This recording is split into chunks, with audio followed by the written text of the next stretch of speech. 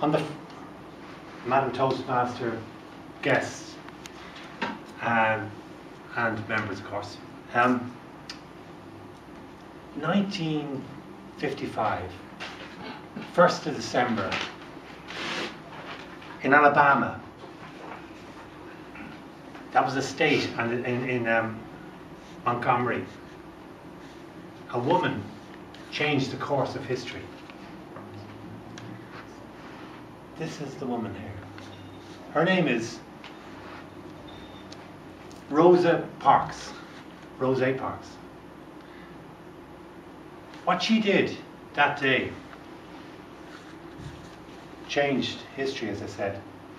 But she got arrested. And the only reason that she got arrested was she was black. And as you can see with that picture there, with President Obama sitting on that seat, that changed the course of history. Let me go back, because that was only taken two weeks ago, of what happened in 1955, less than a little over 50 years ago. She was working as a seamstress in a department store in Montgomery that day. And at six o'clock, she got on this bus, this bus here. She sat down in that same seat that Obama was sitting on. And on the fourth stop, the bus was filling up. The bus driver stopped the bus because there was a lot of white people, or three white people standing up. And he went down to the, to the black people who were segregated in the back and said, Get up. Two people, black people, did and gave their seats. But Rosa Parks didn't. She said, No.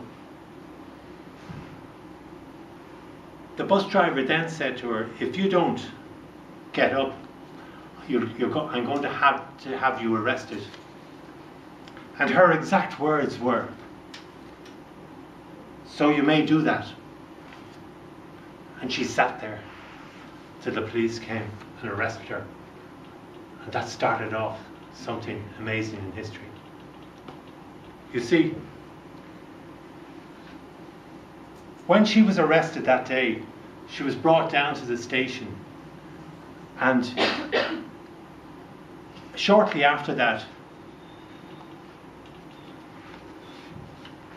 a lot of people heard about this. And one of the main people who, one of the new activists, or what we call leaders, was Martin Luther King, as you've heard it before. And he helped to start a boycott. But one thing that was amazing about that particular day, when she looked back on it, was she was asked, how did she feel when that bus man, when the bus driver came down to her? And her words were, my determination covered me like a warm quilt on a cold winter's night. So she had the education because she was there was only she had a um, um, high a, a degree um, um high school degree at the time, and only five percent of all blacks had a degree or a diploma actually was a degree in high school. So she had this education, she was able to express herself. There was something very special about Rosa uh, Parks. And the boycott started, it took 381 days. But what, what um, the campaigner, Martin Luther King, and the rest of them did was that they stopped people. They, they asked, or he asked all the black people not to get on the buses. To, so that this campaign would start, that they would, and they didn't. actually, what happened for those 381 days, Martin Luther King was actually arrested. And a hundred other black people were arrested during those that particular time, that campaign. It also affected the bus industry in Montgomery. And there was so much pressure on it that they had to let the legislation through. And what happened then was that any black or white person could sit anywhere on a bus. And that was a huge, that doesn't sound very big now. It'd be something like the property tax that's gone out, uh, that's going to start here at the moment. It'd be like me going up to Leinster House, chaining myself against the, the gates there.